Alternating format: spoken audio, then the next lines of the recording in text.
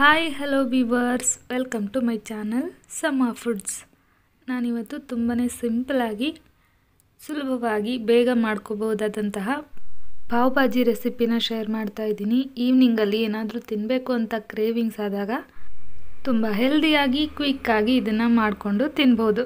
ಹಾಗಿದ್ರೆ ಬನ್ನಿ ಸೂಪರ್ ಟೇಸ್ಟಿಯಾಗಿರೋ ಪಾವ್ ಭಾಜಿ ಮಸಾಲಾನ ಹೇಗೆ ಮಾಡೋದು ನೋಡೋಣ. ಮೊದಲಿಗೆ ನಾನೊಂದು ಕುಕ್ಕರ್ನ ಇಟ್ಕೊಂಡಿದ್ದೀನಿ. ಅದಕ್ಕೆ ಒಂದು ಚಮಚ ಆಗುವಷ್ಟು ಬೆಣ್ಣೆನ ಸೇರಿಸ್ತಾ ಇದ್ದೀನಿ. ಪಾವ್ ಭಾಜಿ ಮಸಾಲ ಮಾಡೋದಕ್ಕೆ ಬೆಣ್ಣೆ ಬೇಕೇ ಬೇಕು ಅಂತ ಹೇಳ್ಬೋದು. ಎಣ್ಣೆಲೂ ಸಹ ಮಾಡ್ಕೋಬಹುದು, ಬಟ್ ಬೆಣ್ಣೆ ಹಾಕಿ ಮಾಡಿದಾಗ ಟೇಸ್ಟು ಅಲ್ಟಿಮೇಟ್ ಆಗಿರುತ್ತೆ. ನಂತರ ಎರಡು ಚಮಚ ಆಗುವಷ್ಟು ಎಣ್ಣೆ ಸಹ ಸೇರಿಸ್ತಾ ಇದ್ದೀನಿ. ಎಣ್ಣೆ, ಬೆಣ್ಣೆ ಎರಡೂ ಕೂಡ ಚೆನ್ನಾಗಿ ಬಿಸಿ ಆದ ನಂತರ ಅರ್ಧ ಚಮಚ ಆಗುವಷ್ಟು ಜೀರಿಗೆನ ಸೇರಿಸ್ತಾ ಇದ್ದೀನಿ.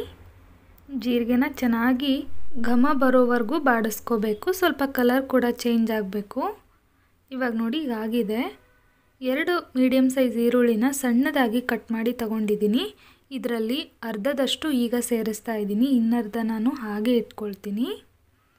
ಈಗ ಈರುಳ್ಳಿದು ಹಸಿ ವಾಸನೆ ಹೋಗಿ ಸ್ವಲ್ಪ ಕಲರ್ ಚೇಂಜ್ ಆಗೋವರೆಗೂ ಚೆನ್ನಾಗಿ ಬಾಡಿಸ್ಕೊಳ್ತೀನಿ.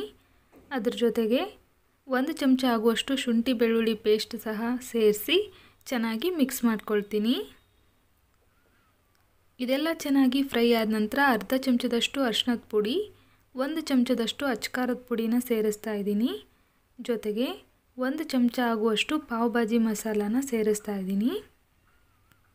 ಅಚ್ಕಾರದ ಪುಡಿ ಅರ್ಶಿನದ ಪುಡಿ ಪಾವ್ ಭಾಜಿ ಮಸಾಲ. ಮತ್ತು ನಾನಿಲ್ಲಿ ಬೇರೆ ಯಾವುದೇ ರೀತಿಯ ಮಸಾಲ ಪುಡಿನ ಬಳಸ್ತಾ ಇಲ್ಲ.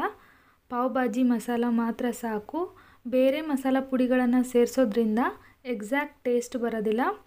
ತುಂಬ ಹೆವಿ ಮಸಾಲ ಅಂತಲೂ ಅನಿಸುತ್ತೆ.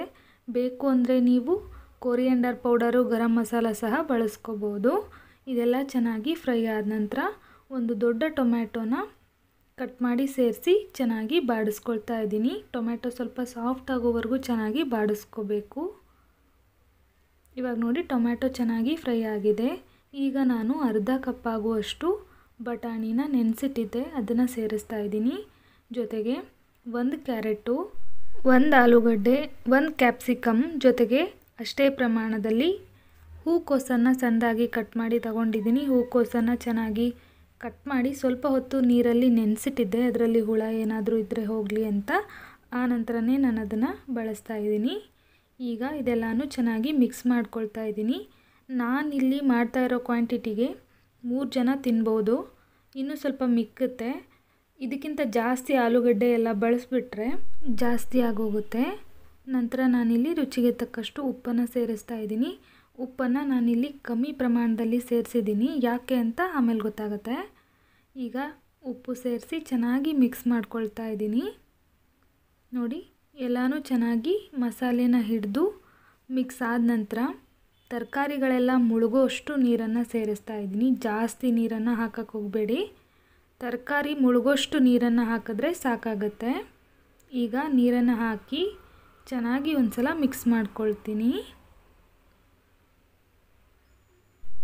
ಇವಾಗ ಇದು ಚೆನ್ನಾಗಿ ಮಿಕ್ಸ್ ಆಗಿದೆ. ಈಗ ಕುಕ್ಕರ್ ಲಿಡ್ನ ಕ್ಲೋಸ್ ಮಾಡಿ ಐದರಿಂದ ಆರು ವಿಜಿಲ್ನ ತಗೊಳ್ತೀನಿ. ತುಂಬಾ ಸಾಫ್ಟಾಗಿ ಬೇಯಬೇಕು ತರಕಾರಿಗಳೆಲ್ಲ. ಇವಾಗ ನೋಡಿ ಐದರಿಂದ ಆರು ವಿಜಿಲ್ ಆಗಿ ನ್ಯಾಚುರಲ್ ಆಗಿ ಪ್ರೆಷರ್ ಎಲ್ಲ ಹೋದ ನಂತರ ಕುಕ್ಕರ್ನ ಓಪನ್ ಮಾಡ್ತಾ ಇದ್ದೀನಿ. ನೋಡ್ತಾ ಇದ್ದೀರಲ್ಲ ಸಾಫ್ಟಾಗಿ ತರಕಾರಿಗಳೆಲ್ಲ ಚೆನ್ನಾಗಿ ಬೆಂದಿದೆ. ಈ ಥರ ಸಾಫ್ಟಾಗಿ ಬೇಯಿಸ್ಕೊಳ್ಳಿ. ಆನಂತರ ಪೊಟ್ಯಾಟೊ ಮ್ಯಾಶರ್ ಇರುತ್ತಲ್ಲ, ನಾವು ಆಲೂಗಡ್ಡೆನ ಮ್ಯಾಶ್ ಮಾಡೋದಕ್ಕೆ ಉಪಯೋಗಿಸ್ತೀವಲ್ಲ, ಆ ಮ್ಯಾಶರ್ನ ತೊಗೊಂಡು ಚೆನ್ನಾಗಿ ಇದನ್ನೆಲ್ಲ ಮಸ್ಕೊಳ್ತೀನಿ. ಅಂದರೆ ಮ್ಯಾಶ್ ಮಾಡ್ಕೊಳ್ತೀನಿ. ಒಂಚೂರು ತರಕಾರಿಗಳು ಯಾವುದು ಕಾಣಿಸ್ದೇ ಇರೋ ಥರ ನೀಟಾಗಿ ಈ ಥರ ಮ್ಯಾಶ್ ಮಾಡ್ಕೋಬೇಕು. ಈಗ ಮ್ಯಾಶ್ ಮಾಡಿದಾಗಿದೆ ಮತ್ತು ನಾನು ಗ್ಯಾಸ್ನ ಆನ್ ಮಾಡ್ಕೊಳ್ತಾ ಇದ್ದೀನಿ. ನಂತರ ಇದು ಸ್ವಲ್ಪ ಗಟ್ಟಿಯಾಗಿದೆ ಅಂತ ಅನ್ನಿಸ್ತು. ಹಾಗಾಗಿ ಕನ್ಸಿಸ್ಟೆನ್ಸಿನ ಅಡ್ಜಸ್ಟ್ ಮಾಡ್ಕೊಳ್ಳೋದಕ್ಕೆ ಒಂದು ದೊಡ್ಡ ಲೋಟದಷ್ಟು ನೀರನ್ನು ಸೇರಿಸಿದ್ದೀನಿ. ನೀರು ಸೇರಿಸಿ ಚೆನ್ನಾಗಿ ಮಿಕ್ಸ್ ಮಾಡ್ಕೊಳ್ಬೇಕು. ಈಗ ಇದು ಚೆನ್ನಾಗಿ ಕುದೀತಾ ಇರಲಿ. ಅಷ್ಟರಲ್ಲಿ ನಾವು ಒಂದು ಒಗ್ಗರಣೆನ ಮಾಡ್ಕೊಳ್ಳೋಣ. ಒಗ್ಗರಣೆ ಮಾಡೋದಕ್ಕೆ ನಾನಿಲ್ಲಿ ಒಂದು ಬಾಣಲೆನ ಇಟ್ಕೊಂಡಿದ್ದೀನಿ. ಅದಕ್ಕೆ ಒಂದು ಅರ್ಧ ಚಮಚ ಆಗುವಷ್ಟು ಬೆಣ್ಣೆನ ಸೇರಿಸ್ತಾ ಇದ್ದೀನಿ. ಬೆಣ್ಣೆ ಜೊತೆಗೆ ಒಂದು ಚಮಚ ಆಗುವಷ್ಟು ಎಣ್ಣೆ ಸಹ ನಾನಿಲ್ಲಿ ಆ್ಯಡ್ ಮಾಡ್ತಾ ಇದ್ದೀನಿ. ಬೆಣ್ಣೆ ಇಷ್ಟಪಡೋರು ಪೂರ್ತಿಯಾಗಿ ಬೆಣ್ಣೆಯಲ್ಲೇ ಮಾಡ್ಕೊಳ್ಳಿ ತುಂಬ ಚೆನ್ನಾಗಿ ಅನಿಸುತ್ತೆ.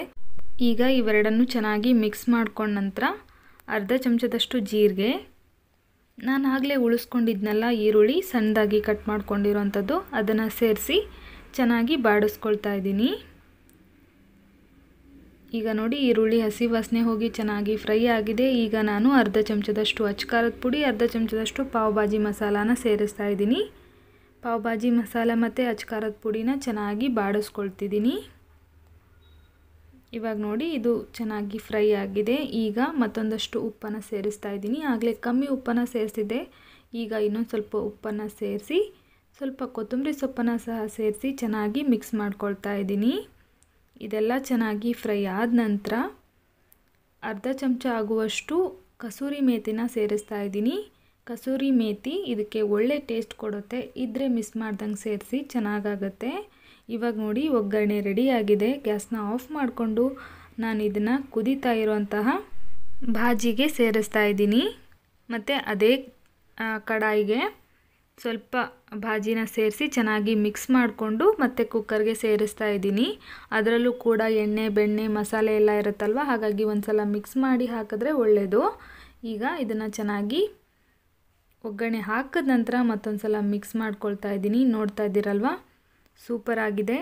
ಕನ್ಸಿಸ್ಟೆನ್ಸಿನೂ ಅಷ್ಟೇ ಕರೆಕ್ಟಾಗಿದೆ ಈಗ ಮೇಲ್ಗಡೆ ಸ್ವಲ್ಪ ಕೊತ್ತಂಬರಿ ಸೊಪ್ಪು ಹಾಕಿ ಇನ್ನೊಂದು ಸಲ ಚೆನ್ನಾಗಿ ಮಿಕ್ಸ್ ಮಾಡಿಕೊಂಡು ಗ್ಯಾಸ್ನ ಆಫ್ ಮಾಡ್ಕೊಳ್ತೀನಿ.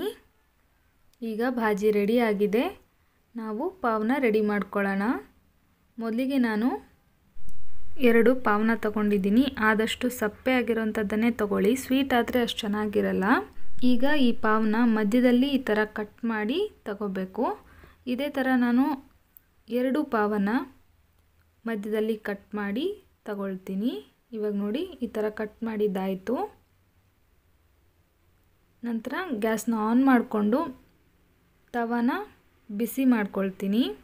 ಬಿಸಿಯಾಗಿರೋಂತಹ ತವಾಗೆ ಒಂದು ಅರ್ಧ ಚಮಚ ಆಗುವಷ್ಟು ಬೆಣ್ಣೆನ ಸೇರಿಸ್ತಾ ಇದ್ದೀನಿ. ಜೊತೆಗೆ ಒಂದು ಕಾಲು ಚಮಚ ಆಗುವಷ್ಟು ಪಾವ್ ಭಾಜಿ ಮಸಾಲ. ಜೊತೆಗೆ ಸ್ವಲ್ಪ ಕೊತ್ತಂಬರಿ ಸೊಪ್ಪು.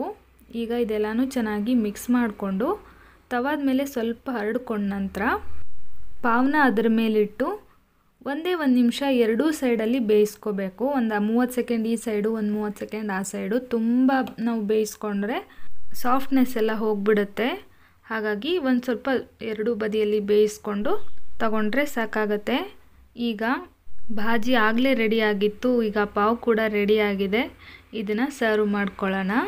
ಬಿಸಿ ಬಿಸಿಯಾಗಿರೋ ಭಾಜಿ ಮತ್ತು ಪಾವ್ ಜೊತೆಗೆ ಸಣ್ಣದಾಗಿ ಕಟ್ ಮಾಡ್ಕೊಂಡಿರುವಂತಹ ಈರುಳ್ಳಿ, ಕೊತ್ತಂಬರಿ ಸೊಪ್ಪು, ಒಂದು ನಿಂಬೆ ಹೋಳನ್ನು ಇಟ್ಟು ಮತ್ತೊಂದು ಸ್ವಲ್ಪ ಬೆಣ್ಣೆನ ಮೇಲ್ಗಡೆ ಹಾಕಿ ತಿನ್ನೋದಕ್ಕೆ ಕೊಟ್ಟರೆ ಯಾರು ತಾನೇ ಬೇಡ ಅಂತಾರೆ ಹೇಳಿ. ಎಲ್ಲರೂ ಇಷ್ಟಪಟ್ಟು ತಿಂತಾರೆ, ಅದರಲ್ಲೂ ಮಕ್ಕಳಿಗಂತೂ ಸಿಕ್ಕಾಪಟ್ಟೆ ಇಷ್ಟ ಆಗುತ್ತೆ. ಇದರಲ್ಲಿ ತುಂಬ ತರಕಾರಿಗಳನ್ನು ಹಾಕಿರೋದ್ರಿಂದ ಹೆಲ್ದಿಯಾಗೂ ಇರುತ್ತೆ. ಕ್ವಿಕ್ಕಾಗೂ ಮಾಡ್ಕೋಬೋದು. ಮಕ್ಕಳು ಶಾಲೆಯಿಂದ ಮನೆಗೆ ಬರೋಷ್ಟರಲ್ಲಿ ಈ ಥರ ಹೆಲ್ದಿಯಾಗಿ ಏನಾದರೂ ಮಾಡಿಕೊಟ್ರೆ ಅವ್ರಿಗೂ ಕೂಡ ಖುಷಿ ಆಗುತ್ತೆ, ಆ ಖುಷಿನ ನೋಡಿ ನಮಗೂ ಕೂಡ ಖುಷಿ ಆಗುತ್ತೆ. ಈ ರೆಸಿಪಿ ಹೇಗನ್ನಿಸ್ತು ಅಂತ ಕಮೆಂಟ್ ಮಾಡಿ. ಮತ್ತೆ ಸಿಗ್ತೀನಿ. Bye friends thank you